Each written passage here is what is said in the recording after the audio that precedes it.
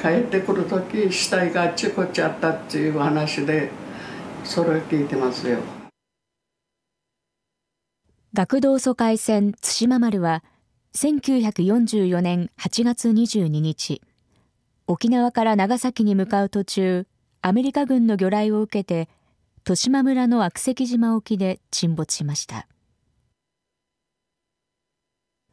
乗っていた1788人のうち8割にあたる1484人が死亡。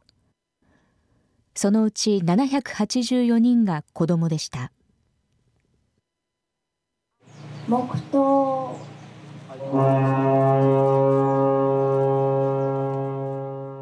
沈没から80年の今日沖縄では慰霊祭が開かれました。遺族会は遺品収集を含めた水中調査を改めて実施するよう政府に求めています。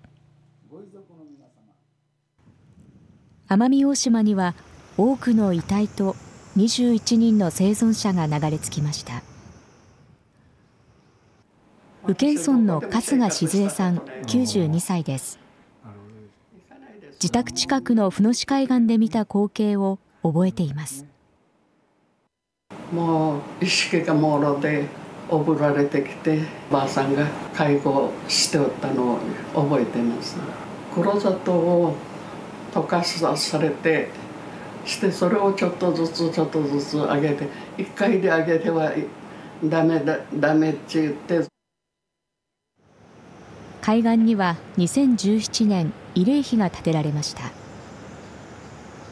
春日さんは当時12歳だった自分と同じくらいの子供の遺体も目撃しましたが何もできなかったと言います。小さい子供さんだったの。その子子さんは男か女かはわからないであの左腕に黒い紐でくくられてあってそれがないかに食い込んで周囲はもう腫れておったから姉二人も逃げて そのままその子供さんに「もうまた流れていってね」って言って帰私なんかも帰ったの。対馬丸の悲劇から80年今も世界各地で戦争や紛争が続いている状況に春日さんはあのあの時代の